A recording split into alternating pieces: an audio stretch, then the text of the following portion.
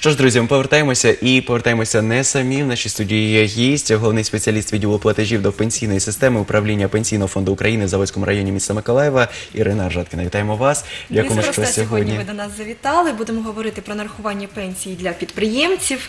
А так дійсно, е, це питання врегульовано законом. і Відповідно, е, підприємці мають право виходити також на пенсію. І цікаво, з якого віку взагалі це реально і можливо зробити. Чи так як в усіх? Не, ну, в принципе, действительно это правда. Так как, так как у всех. Возраст для начисления пенсии для всех категорий граждан у нас одинаков. Это 60 лет. Это касается сейчас уже и женщин, и мужчин. А мінімальний страховий стаж, який має бути для нарахування? А минимальный страховой стаж для возможности получения пенсии это 15 лет на сегодняшний момент. Должно быть 15 лет. А государственного якісь стажа. специфічні умови чи надання якихось специфічних документів необхідно для підприємців саме? Конкретно для этой категории ничего специфического нет. Единственное, у них есть документ на право заня- занятия ними предпринимательской деятельностью. Вот это единственное может отличие от всех других категорий. А так, как обычно, трудовая книжка, паспорт, код. Мгм. А ось е, щодо цього страхового стажу, як його можна заробити підприємцям? Тому що я взагалі до певного часу думав, що підприємці взагалі ніякий стаж не отримують, просто працюють собі і все. Ну, это действительно правда. На какой-то момент эта категория была, может быть, чем-то ограничена, там, можно сказать, как в правах. Но на сегодняшний момент все регулируется законами. Ну, конкретно для частных предпринимателей Точно так же, чтобы заработать этот стаж, необходимо делать платежи в пенсионную систему. И конкретно для них этот платеж должен быть ежемесячным, и он составляет процент, определенный законом. Для них это 22% от минимальной заработной платы. На сегодняшний момент это 319 гривен. А це обов'язково чи за бажанням, як воно є? Нет, на сегодняшний момент уже с 7 и- с 1 июля 2011 года это уже обязательный платеж для А як це предпринимателей. вплинуло на підприємців з тим, що вони мають вже обов'язковий платіж платити? А Чи багато хто пішов в тінь чи ні? Як взагалі Ну, звісно, конечно, это отследить сложно, но, в принципе, чтобы легально и реально заниматься бизнесом, то так вот, насколько я могу по своему разумению сделать, то люди платят. Ну, Им надо... Сейчас основная масса предпринимателей, они у нас единщики, это упрощенная система, они платят единый налог и вот этот обязательный взнос в пенсионный фонд. А, Дивіться, як буде е, із е, тією е, системою, ситуацією, якщо, наприклад, е, у підприємця немає 15 років е, цього страхового стажу? Значит, если именно у предпринимателя нет 15 лет страхового стажа, то до 2004 года ему все равно стаж шел в полном объеме, независимо от системы налогообложения, а после 2004 года он имеет возможность, но если он был только плательщиком единого или фиксированного налога, сделать доплаты в пенсионный фонд.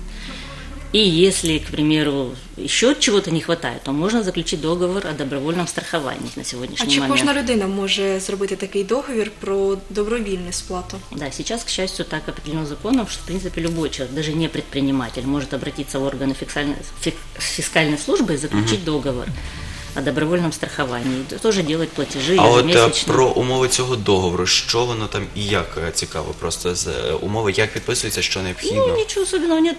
Приходишь в фискальную службу, приносишь паспорт и код, заключается договор, договор вступает в силу с момента подписания. Там оговорены условия сторон, ну, так, если коротенько, это платеж, который ежемесячно делается, и сумма платежа.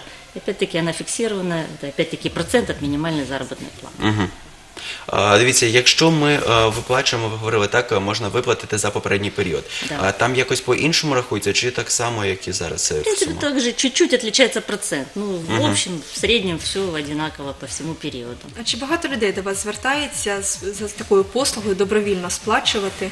Ну, податок? сейчас именно с пенсионного фонда эта функция снята, это фискальная служба занимается. Но люди, возраст как бы догоняет всех, и поэтому, да, в общем-то, довольно большое количество людей обращается, потому что бывает, ну, буквально месяц, два, даже два-три дня, а все равно это надо ситуацию исправить, поэтому люди обращаются. Так, Безусловно. принципиально, даже несколько дней это- Ну, да, вот нет 15 лет, и все, получается, что Ми знаємо, надо. що відслідкувати свій страховий стаж кожна людина може на вашому спеціальному порталі, інтернет-порталі.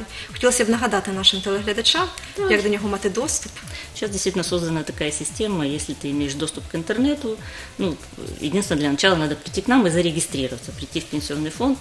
Допустим, сейчас наши пенсионные фонды все находятся, это проспект Октябрьский, 55Е, пожалуйста, приходите, паспорт, код с собой, заполняется простенькое заявление, выдается тебе код, ты его вводишь в компьютер, и при введении своего кода ты видишь всю, Всю свою информацию. историю, по крайней мере, с 2000 года, все свои отчисления, начисления, І стаж. навіть это- довідки, здається, можна Даже оформлювати. сейчас, да, можно заказывать даже справки, даже какие-то определенные виды документов можно заказывать в электронном виде. Ну що ж, дякуємо вам за те, що ви сьогодні завітали, проінформували ще з цієї теми. А я нагадую іще раз нашим телеглядачам, що друзі, не зважайте і думайте про те, що можна ж не ходити по місту, можна просто все бачити в себе на екрані, тож користуйтеся цією можливістю, поки вона є. І я думаю, що буде розвиватися і е, спектр послуг е, цієї, е, цієї електронної системи. Дякуємо вам за те, що сьогодні завітали.